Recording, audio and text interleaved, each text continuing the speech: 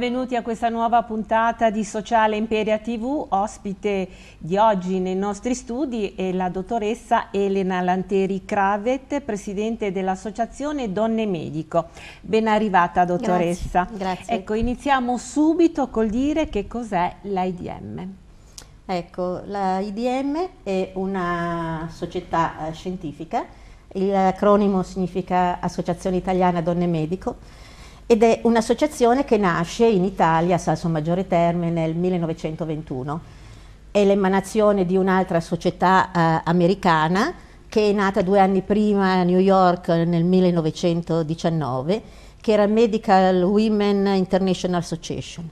Era un'associazione formata da, eh, costituita da 140 donne laureate in medicina che al ritorno da un congresso europeo hanno deciso di eh, riunirsi e di fondare questa società scientifica. Eh, quando è nata in Italia c'erano circa 200 donne laureate in medicina, non di più. Erano giusto un piccolo manipolo di donne che si affacciavano a una professione che era eh, prevalentemente maschile.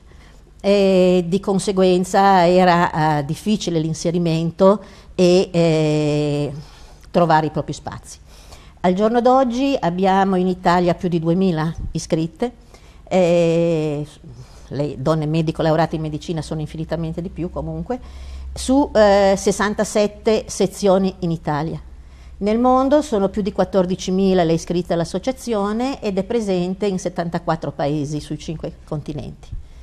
È un'associazione che fa parte del programma World Health Organization, fa parte del, dell'ONU nelle sedi centrali sia di Ginevra che di New York che di Vienna, collabora con la UNESCO e, e ha numerosi, eh, con l'UNICEF, ha numerose collaborazioni con associazioni importanti, ha la sede eh, a Ginevra, mentre la sede legale in Germania a Colonia.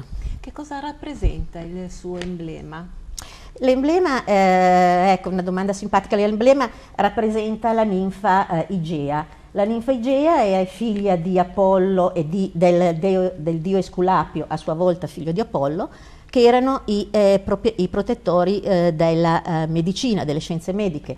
E la ninfa ehm, era figlia di, eh, della dea della salute, indicava, era, rappresentava la dea della salute, e eh, è rappresentata con in mano una coppa che nutre il serpente di Esculapio, che era il simbolo eh, della rinascita, della vitalità, perché ogni anno eh, emerge dalla sua nuova pelle, perciò era un indice di salute. E ehm, la scritta intorno, matris animo curant, eh, vuole invece dire che curano con eh, l'animo e con lo spirito della madre fanno praticamente le proprie cure con eh, amore materno.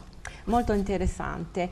Ecco, ed è anche accreditata presso il Ministero della Salute. Certo, è un grosso successo che ha avuto l'IDM perché nel 2003 è entrata a far parte delle eh, società eh, della Federazione Italiana delle Società eh, di, Scienzi, di Scienze Mediche e ehm, questo ne ha fatto un osservatorio eh, della eh, situazione e della valutazione eh, della professionalità delle donne, eh, delle donne medico. E in più è diventata anche provider eh, nella eh, accreditata con ISO e tutti i certificati per la produzione di ECM che sono i crediti formativi assolutamente indispensabili, obbligatori in qualsiasi professionalità per cui nel produrre eh, convegni, riunioni e corsi di aggiornamento, eh, questi vengono eh, inseriti eh, nel quadro annuo degli crediti formativi.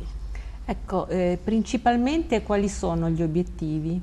Ma gli obiettivi sono eh, soprattutto valorizzare eh, quelle che sono le professionalità mediche eh, femminili nell'ambito eh, del comparto sanitario, eh, incrementare e promuovere tutto quello che è l'aggiornamento professionale e la, lo, lo studio continuo e eh, la tutela è anche eh, la, l'accompagnamento in determinate situazioni in cui eh, può essere necessario eh, un supporto eh, di un'associazione alle spalle. Eh, bisogna dire che in Italia, eh, come anche altrove, si assiste a una tendenza per cui i laureati in medicina sono prevalentemente donne. Su 15 che si laureano, che si iscrivono agli ordini professionali, 10 sono donne. Eh, per cui c'è una massiccia presenza nelle corsie, negli ambulatori e sul territorio, però eh, per quel che riguarda invece le posizioni apicali, eh, soltanto una minima parte riesce a raggiungerle perché sono ancora predominio della parte maschile. Di conseguenza il promuovere la professionalità e le capacità di ciascuno è importante anche ai fini eh, della, eh, di, una, di una sua posizione. L'EDM va anche detto che è stata la prima società a parlare di medicina di genere e ad occuparsi della salute delle donne. Sì, eh, la, um, eh, l'IDM ha, ha, affrontato per prima eh, questo problema che è un problema che nasce dallo studio dell'epidemiologia, cioè si è visto che eh, moltissime patologie eh, trovano una estrinsecazione diversa tra il genere maschile e il genere femminile. Eh, anche se nell'ambito dei libri di universitari si studia la malattia in se stessa, però eh, determinate malattie eh, si manifestano in modo differente, con delle differenze importanti tra i due generi. In più eh, tutti gli studi invece si riferiscono a un modello unico. Lo stesso per quel che riguarda i farmaci, eh, noi ci troviamo di fronte a studi farmacologici che parlano di farmacocinetica, mm. farmacodinamica, eh, tossicità dei farmaci, ma che però eh, parlano sempre di un modello unico, prevalentemente di solito maschile. Invece eh, vi sono situazioni in cui stessa eh, lo stesso farmaco, la stessa patologia eh, danno eh, risultati diversi tra i due sessi.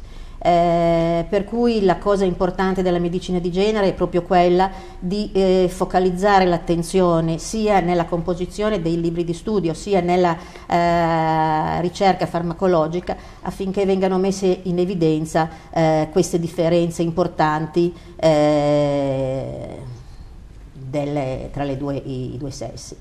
Tra l'altro eh, in Italia eh, abbiamo delle università che si sono occupate per, prima, eh, per, prime della medicina di genere, che sono la Toscana, con Firenze e la Basilicata, eh, dove esiste un master di secondo livello proprio di specializzazione in medicina di genere e eh, a marzo di quest'anno, aprile, è stato fatto eh, dall'Associazione Donne Mediche un convegno nazionale a Palermo dove è stata fatta la prima riunione internazionale in cui si parlava appunto di, eh,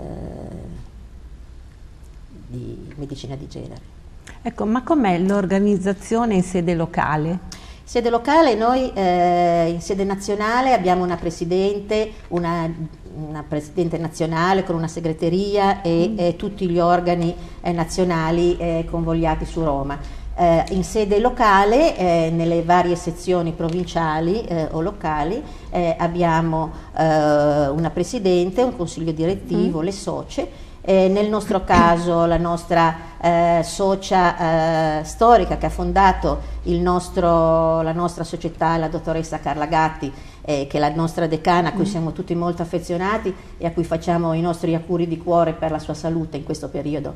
E mh, mm, ci estendiamo come eh, estensione territoriale da Ventimiglia fino a Diano Marina e ehm, ci occupiamo delle problematiche relative a questa zona, collaboriamo con l'Ordine dei Medici attivamente che è il nostro organo principale mm. di riferimento, siamo tutte socie con il dottor eh, Francesco Alberti eh, che ci ha sponsorizzato e che ci sostiene nelle nostre attività, mm-hmm. con l'ASL eh, Unimperiese, con la Regione che nei convegni che abbiamo fatto ci ha sempre sostenuto e patrocinato e eh, abbiamo un'attività soprattutto divulgativa. Poi abbiamo partecipato per esempio al punto nascite adesso, al punto allattamento con l'ASR, abbiamo fatto convegni importanti eh, sull'adolescenza a cui ha partecipato anche il professor Crepè, eh, un, dei corsi eh, con, uh, sul disagio del bullismo nelle scuole e con tutte le forze dell'ordine e le direzioni scolastiche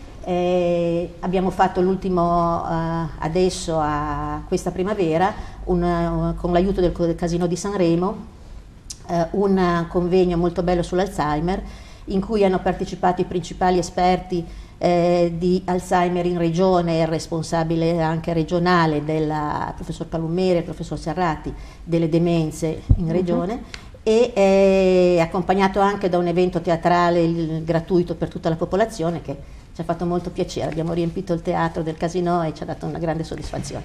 Velocemente, dottoressa, perché siamo in conclusione, esiste la solidarietà tra donne e medico?